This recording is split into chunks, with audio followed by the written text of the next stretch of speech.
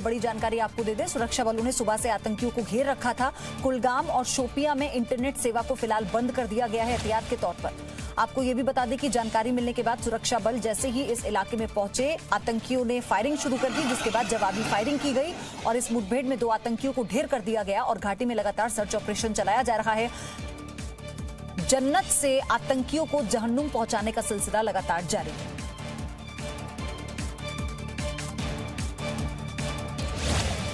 Delhi police जल्द ही 1916 विदेशी जमातियों के खिलाफ चार्जशीट दायर करेगी। इन सभी पर वीज़ा नियमों के उल्लंघन का आरोप लगा है। सभी के पासपोर्ट और दूसरे दस्तावेज़ जब्त किए गए।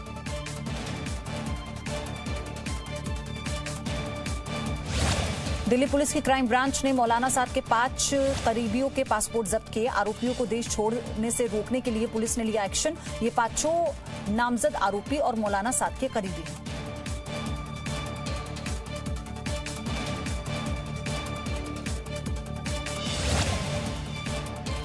सुप्रीम कोर्ट ने कोरोना महामारी के दौरान एयर इंडिया को अगले 10 दिनों तक एयरक्राफ्ट में तीनों सीटों पर यात्रियों को बैठाने की मंजूरी दी। कोर्ट ने मिडिल सीट पर 10 दिन बाद बुकिंग नहीं करने का आदेश दिया। तीन बार ओलंपिक गोल्ड विजेता रहे हॉकी के पूर्व खिलाड़ी। बलवीर सिंह सीनियर का निधन हो गया। उन्होंने आज चंडीगढ़ में सुबह छियानवे साल की उम्र में छह बजकर सत्रह मिनट पर आखिरी सांस ली। काफ़ी दिनों से वो वेंटिलेटर पर थे। लॉकडाउन के बाद आज से देश में घरेलू हवाई यात्रा शुरू। लॉकडाउन के चलते 60 दिनों तक बंद थी घरेलू यात्री विमान सेवाएँ। कुल 1050 फ्लाइट्स उड़ान तय किया गया। आज सुबह पाँच बजे पहली फ़्लाइट ने दिल्ली एयरपोर्ट से उड़ान भरी। सुबह छह बजकर बयालीस मिनट पर महाराष्ट्र के पुणे में लैंड किया। यात्रियों को सभी तरह की जाँच से गुजरना पड़ा। यात्रियों को शर्तों के साथ विमान यात्रा की इजाज़त मिलेगी। नागरिक उड्डयन मंत्रालय के बनाए गाइडलाइंस का पालन एयरलाइंस और यात्रियों को करना होगा। केरल, ओडिशा, असम, उत्तर प्रदेश, तमिलनाडु और आंध्र प्रदेश में भी विमान यात्रियों को 14 दिन के क्वारंटीन में जाना होगा। दिल्ली एयरपोर्ट से लैंड टेक ऑफ़ करने वाली 80 के आसपास उड़ानें रद्द कर दी गई। पश्चिम बंगाल, महाराष्ट्र और चेन्नई को लेकर बना था शेड्यूल। महाराष्ट्र और चेन्नई के लिए उड़ानें सीमित की गई। महाराष्ट्र सरकार ने रेल मंत्रालय को गाड़ियों की लिस्ट सौंपी। रेल मंत्रालय से की अपील, ट्रेन जिस स्टेशन पर पहुंचनी चाहिए, वहीं पहुँचे। गोरखपुर जाने वाली ट्रेन ओडिशा न पहुँच जाए। उत्तर भारत में तेज़ी से बढ़ी गर्मी, दिल्ली, पंजाब, हरियाणा, चंडीगढ़ और राजस्थान में गर्मी के चलते रेड अलर्ट। चलने लगी गर्म हवाएँ।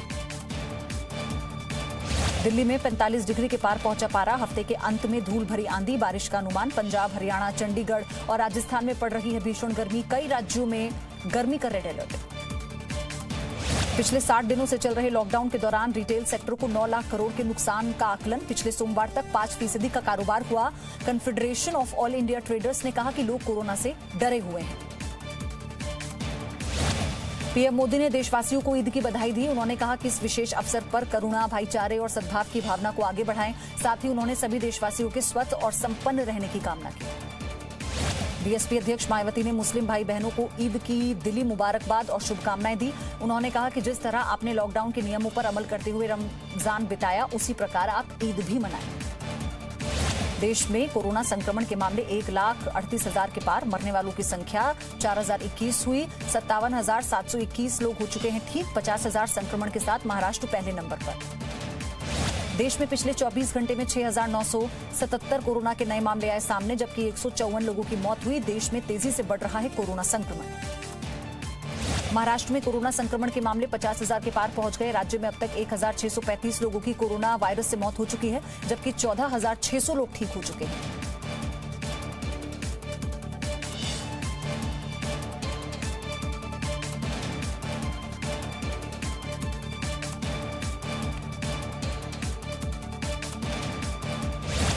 तमिलनाडु में कोरोना संक्रमित मरीजों का आंकड़ा 16,200 के पार पहुँचा। राज्य में कोरोना वायरस की वजह से 111 लोगों की मौत हुई जबकि 8,000 से ज़्यादा लोग ठीक हो चुके हैं। गुजरात में कोरोना संक्रमित मरीजों की संख्या 14,000 के पार पहुँच गई। सूबे में कोरोना के चलते आठ सौ सैंतालीस से ज़्यादा लोग अपनी जान गंवा चुके हैं 6,000 से ज़्यादा लोग ठीक हुए। दिल्ली में कोरोना संक्रमित मरीजों की तादाद 13,400 के पार पहुँची। दिल्ली में कोरोना वायरस से अब तक दो सौ इकसठ लोगों की मौत हो चुकी है। 13,400 से ज़्यादा लोग ठीक हो चुके हैं। सीएम केजरीवाल ने कहा कि दिल्ली में लॉकडाउन में छूट की वजह से कोरोना के मामले बढ़े। पिछले एक हफ़्ते में साढ़े तीन हज़ार कोरोना के नए केस सामने आए। सरकारी और निजी अस्पताल मिलाकर साढ़े चार हज़ार बेड खाली।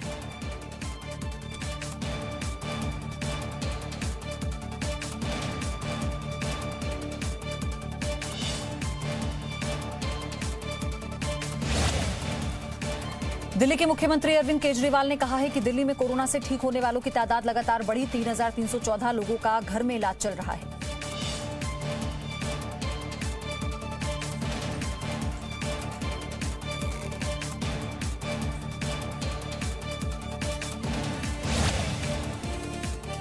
पश्चिम बंगाल में कोरोना मरीजों की संख्या 3,600 के पार पहुँच गई। राज्य में कोरोना से अब तक दो सौ बहत्तर लोग अपनी जान गंवा चुके हैं और एक लोगों ने वायरस को मात दे दी। महाराष्ट्र पुलिस में कोरोना के इक्यावन नए केस सामने आए, जिसके बाद राज्य के 1809 पुलिसकर्मी कोरोना संक्रमित, इनमें से 1113 एक्टिव केस हैं और 678 लोग ठीक हो चुके हैं। उत्तर प्रदेश में कोरोना के मरीज़ आइसोलेशन वार्ड में मोबाइल फ़ोन रख सकते हैं, इसे लेकर आदेश जारी कर दिया गया। इससे पहले डीजी चिकित्सा शिक्षा ने मोबाइल पर पाबंदी का आदेश दिया था। यूपी के मेरठ में हैंड सैनिटाइज करने के लिए अब हर घंटे सायरन बजेगा। सायरन बजते ही दुकानदार और दूसरे लोग अपने हाथों को सैनिटाइज करेंगे। कोरोना के खिलाफ जागरूकता के लिए पहल की गई। मुख्यमंत्री योगी आदित्यनाथ ने माइग्रेशन कमीशन गठन करने का निर्देश दिया। माइग्रेशन कमीशन श्रमिकों को उनके कौशल के मुताबिक रोज़गार दिलाने में मदद करेगा।